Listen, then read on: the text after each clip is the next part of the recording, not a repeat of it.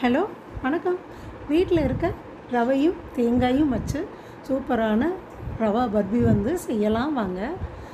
அதுக்கு என்னென்ன ஜாமான் எடுக்கணும்னு சொல்கிறேன் பாருங்கள் ஒரு கப்பு ரவை ஒரு கப்பு தேங்காய் ரெண்டு கப்பு சர்க்கரை ஐம்பது கிராம் பாதாம் முந்திரி ஐம்பது கிராம் நெய்யுங்க ஒரு ஸ்பூன் ஏலக்காய் பவுடர். இதாங்க இதுக்கு தேவையான ஜாமான்.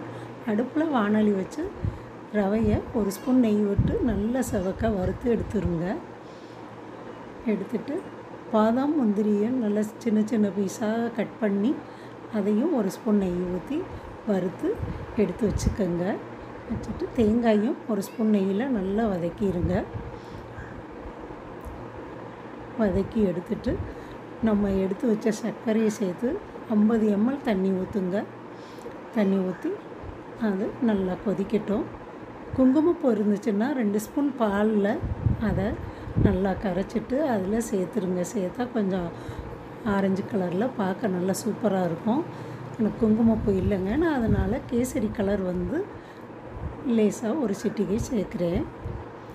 சேர்த்தா பா பர்பி பார்க்குறதுக்கு ரொம்ப சூப்பராக இருக்குங்க. ஒரு கம்பி பாகு வந்ததுமே நாம் வறுத்து வச்ச ரவை தேங்காய் எல்லாம் சேர்த்துருங்க.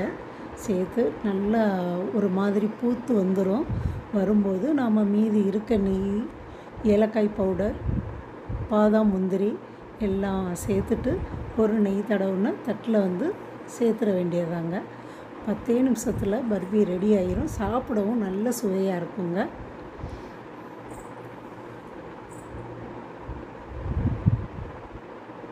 வெள்ளை கலராக இல்லாமல் கொஞ்சம் கலர் சேர்த்தா கொஞ்சம் பார்க்கறதுக்கு குழந்தைகள்லாம் விரும்பி சாப்பிடுவாங்க. அதுக்காக தான் சேர்க்குறேன் குங்குமப்பூ இருந்துச்சுன்னா அது சேர்த்துக்கினாலும் ஒரு எல்லோ கலரில் சூப்பராக இருக்குங்க பார்க்குறதுக்கு. மீதி இருக்க நெய் எல்லாமே சேர்த்துட்டேன் பாருங்கள் ஒரு மாதிரி பூத்துட்டு வருதில்ல. இந்த சமயம் நம்ம வறுத்து வச்ச பாதாம் முந்திரி எல்லாம் சேர்த்துட்டு நெய் தடவுன்னு தட்டில் சேர்த்து பரத்தி நல்லா பத்து நிமிஷம் ஆறவும் அதை கட் பண்ணிடுங்க நல்லா ஆறவும் எடுத்தால் சூப்பராக எடுக்க வந்துடும் சாப்பிடவும் நல்ல சுவையாக இருக்குங்க. பாருங்கள் பருப்பி ரெடி ஆயிடுச்சு நம்ம சேனலை இதுவரை சப்ஸ்கிரைப் பண்ணலைன்னா சப்ஸ்கிரைப் பண்ணிடுங்க நன்றி வணக்கம்.